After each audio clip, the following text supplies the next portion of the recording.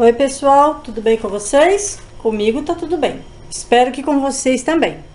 Então hoje eu vim com mais uma receita do Zé do Aladim e mais uma moça também que não me lembro o nome agora, que ele pegou a receita do canal dela. Vou deixar aqui na descrição do vídeo o nome do Zé do Aladim e o nome do canal da pessoa que eu vi que o Zé pegou desse canal e fez, tá?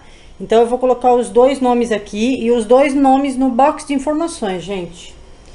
Então, o que, nós vamos usar? O suco, um litro de suco de casca de laranja, uma barra de sabão neutro, duas colheres de sopa de açúcar, duas colheres de sopa de sal, três colheres de bicarbonato.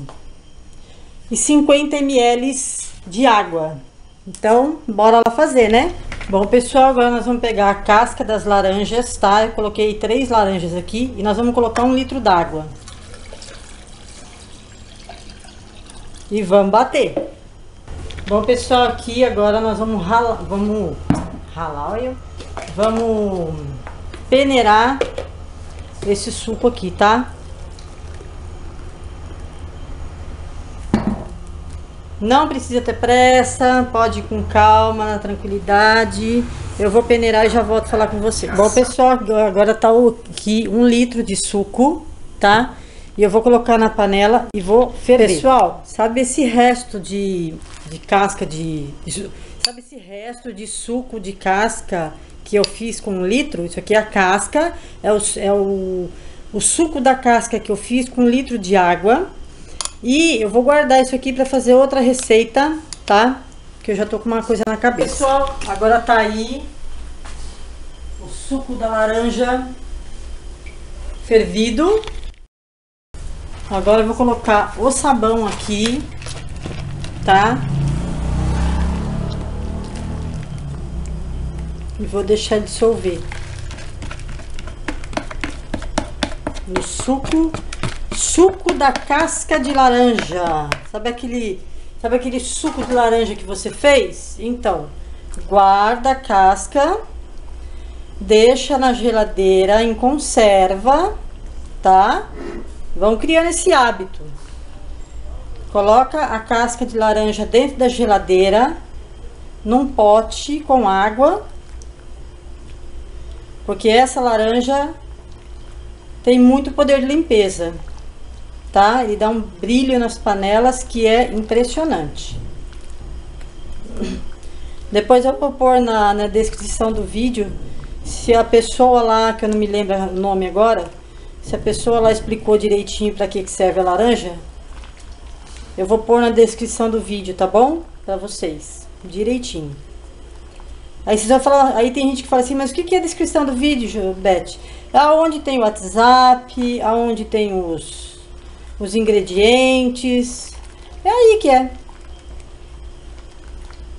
Agora vamos deixar isso aqui derreter, tá? Que ele demora um pouquinho. E aí a gente já vem. Bom, pessoal, já ferveu aí.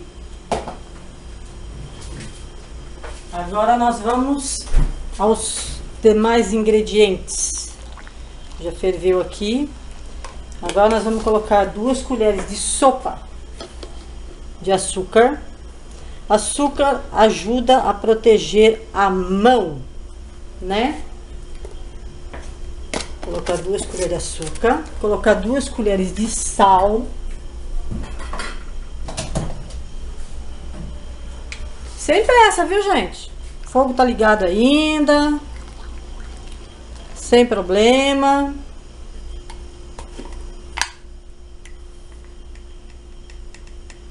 Duas colheres de sal, vamos mexendo. Vamos ligar o fogo aqui.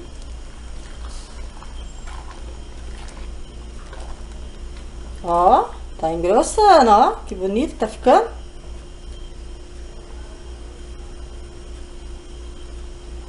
Isso que eu coloquei uma colher só.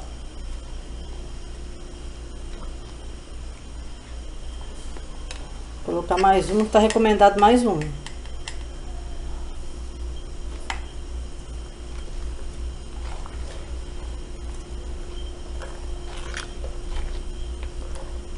Oh, uau, como ficou bonito. Agora eu vou colocar, sempre mexendo bastante, viu gente? Aí vocês vão falar assim, ah, mas tem umas bolotinhas aí, gente, depois vai virar pasta, isso aqui não vai ser mais nada tá?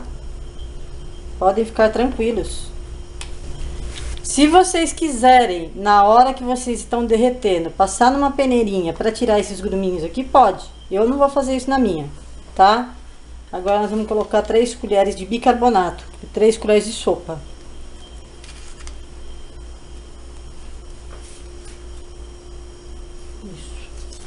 Tô conferindo ali a listinha de, de ingredientes para ver se é isso mesmo.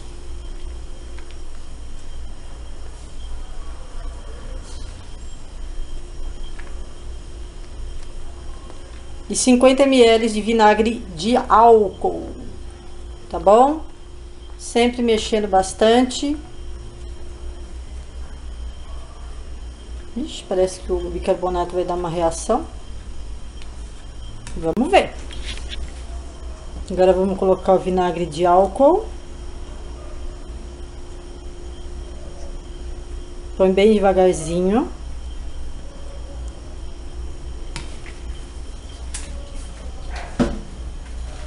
E deixa aí. Todas as panelas que eu tinha menor que essa estão ocupadas. Então é por isso que eu tô usando elas. Gente, eu vou mexer aqui mais ou menos uns 10 minutos, depois eu vou colocar nas vasilhinhas, tá bom? Então até já. Pessoal, como daqui a pouco eu não vou poder mais ficar mexendo aqui até ele amornar, então eu vou colocar nos potinhos aqui, ó, e eu vou mexendo ele até ele amornar, para ele não correr o risco de separar, tá? Eu vou fazer assim, tá? E eu queria agradecer a Mary Porter, é do canal Mary Porter essa receita, tá? Eu vou colocar aqui na descrição do vídeo, colocar na legenda. Vou encher esse vídeo de legenda hoje, tá bom? Então eu vou colocar a pasta aqui no, no recipiente e já venho com vocês. Então, pessoal, eu coloquei em duas vasilhas de margarina, tá? E eu peguei o costume, porque o Fábio sempre falou que quando você vai fazer um produto, você tem que mexer, mexer, mexer ao máximo. Então, tudo que eu faço, eu costumo mexer até amornar. A hora que ele amorna, aí eu tenho certeza que ele não vai separar, tá? Então é isso, gente. A hora que endurecer, eu venho trazer para vocês o resultado. E eu não coloquei corante também nesse, porque eu achei muito bonita essa cor amarela, tá? Então é isso, gente. Até mais. Bom, pessoal, depois de 12 horas, aqui está a pasta de brilho. Tá super durinha, super maravilhosa. Não ficou com água no fundo. E ó, tá super, super, super linda, gente. Uma pasta de brilho espetacular. Super, super 10. Então, como é pro meu uso, vou colocar aqui de volta para vocês. E vou mostrar essa outra aqui também, que deu duas vasilhas. Não ficou com água embaixo, de jeito nenhum. E ó, as duas pastas lindas e maravilhosas. Tá bom? Então, eu espero que vocês tenham gostado. Se você gostou desse vídeo, clica no joinha, se inscreve aqui no canal, tá bom? E clica no joinha, compartilha com os amigos, compartilha com a família, compartilha pra, com todas aquelas pessoas que têm panela de inox, que tem panela que tem que dar brilho, porque elas vão adorar essa receita, tá bom? Então fiquem com Deus, na santa paz de Deus e até o próximo vídeo. Tchau! Pessoal, vim testar essa pasta de brilho com vocês. E eu peguei aqui uma esponjinha velha, porque eu não tenho outra. E essa esponjinha tá pra, totalmente sem detergente, tá? Então, o que, que eu vou fazer? A pasta de brilho tá aqui. E ó, Ela é maravilhosa. Gente, quem me acompanha sabe que tudo o que eu produzo eu uso aqui na minha cozinha. Então, o que, que acontece? Não tem panela é, queimada aqui em casa. Não tem panela é, com, muito, com muita sujeira, com nada, sabe? Então, ó, essa pasta aqui, só vocês fazendo e usando para vocês verem que ela é maravilhosa, tá bom?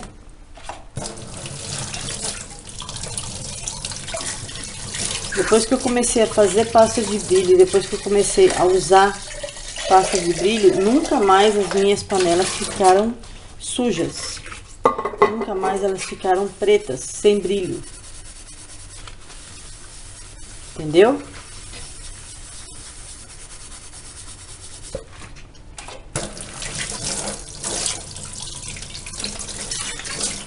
Aí, tudo, sem, tudo com brilho, maravilhoso.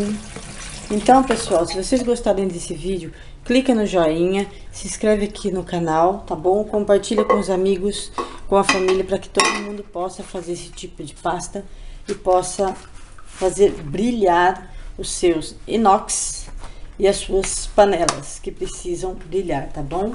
Então fiquem com Deus, na santa paz de Deus e até o próximo vídeo. Tchau!